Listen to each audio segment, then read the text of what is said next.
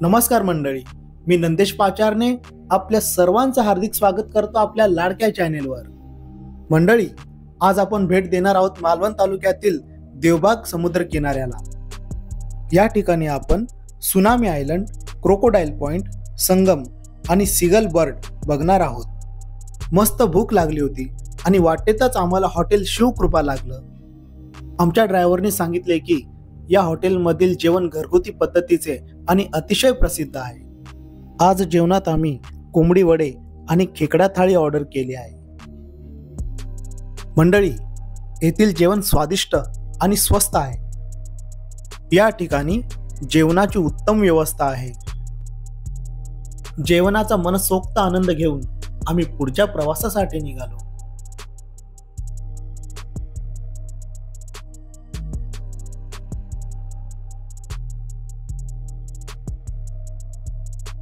मंडळी आता आपण आलो आहोत देवबाग जेटी या ठिकाणी.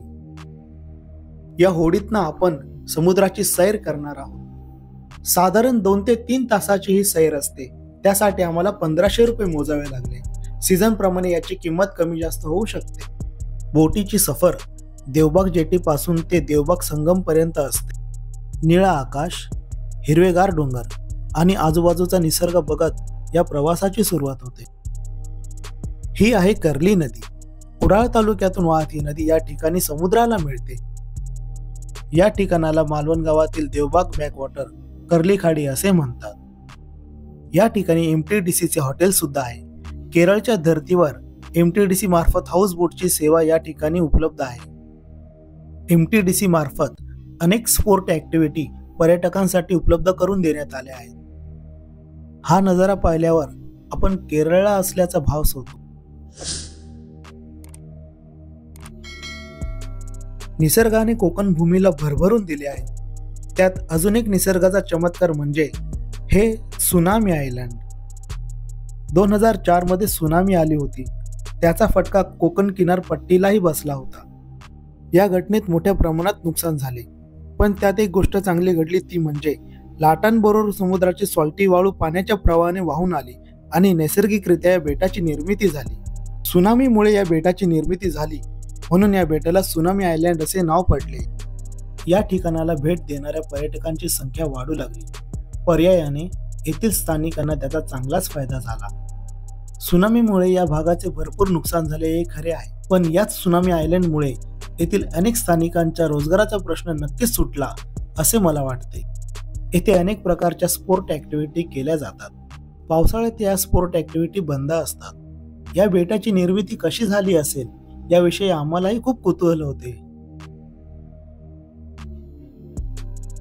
अशा प्रकारे सुनामी आयलंडची माहिती घेऊन आम्ही पुढच्या पॉइंटकडे निघालो.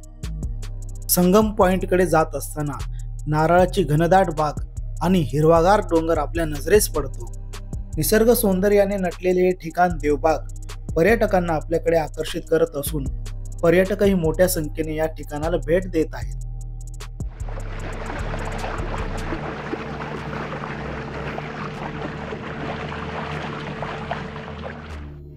अशा प्रकारे प्रवासाचा आनंद घेत आम्ही संगम पॉइंट वरती पोहोचलो.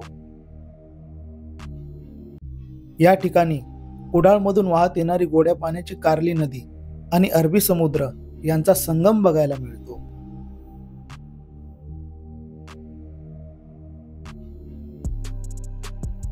या संगमवरती सी इगल नावाचा ऑस्ट्रेलियन पक्षी आपल्याला बघायला मिळतो. सफेद आणि राखाडी रंगाचा हा पक्षी असून कोकण समुद्र किनारी साधारण चार ते पाच महिने हिवाळ्याच्या दरम्यान हा वास्तव्यास असतो. कोकण समुद्र किनारी मिळणारा तारली फिश हे या पक्षाचे आवडते खाद्य आहे. म्हणून हा पक्षी कोकण किनाऱ्यावर मोठ्या प्रमाणात बघायला मिळतो.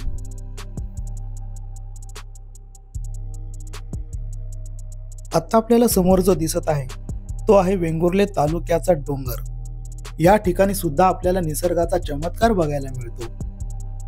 जर आपण नीट पाहिले तर आपल्या लक्षात येईल की नैसर्गिकरित्या नारळांच्या झाडांपासून तयार झालेला मगरीच्या तोंडाचा आकार आपल्याला या ठिकाणी बघायला मिळतो. हे मगरीचं तोंड आणि हा डोंगर म्हणजे त्याचं बाकीचं शरीर अशी नैसर्गिक रचना आपल्याला येथे बघायला मिळते. या ठिकाणावरून दिसणारा सूर्यास्त पाहण्यासाठी पर्यटक मोठ्या संख्येने येथे हजेरी लावतात. कोकणातील समुद्र किनारे आपल्याला नेहमीच आकर्षित करतात. कोकणातील निसर्गाचा मोह हा न सुटणारा आहे. मंडळी आपणही अवश्य या ठिकाणाला भेट द्या. या ठिकाणी येण्यासाठी कोकण रेल्वेचे कुडाळ किंवा सिंधुदुर्ग हे जवळचे रेल्वे स्टेशन आहेत तसेच मुंबई गोवा महामार्गाने आपण या ठिकाणी येऊ शकतो.